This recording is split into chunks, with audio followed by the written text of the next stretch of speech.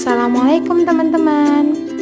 Kali ini saya akan memberitahu bagaimana cara melipat gamis dengan simple agar di lemari terlihat dengan rapi.